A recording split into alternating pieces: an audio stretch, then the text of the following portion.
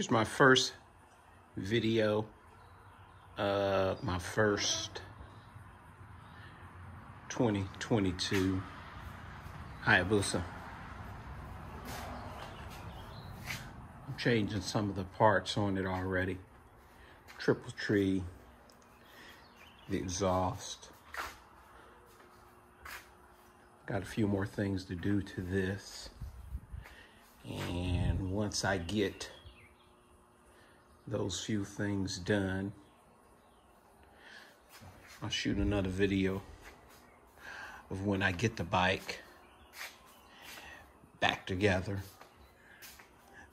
They are, yeah, I guess they're about the same as the other one to take apart. It's just got a, a few more bolts and nuts and different things uh, with the gas tank with this plastic.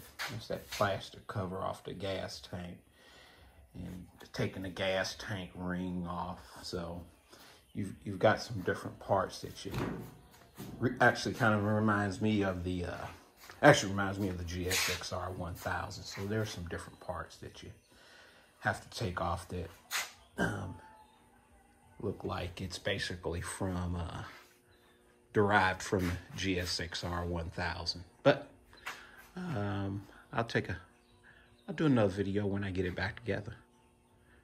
Bye bye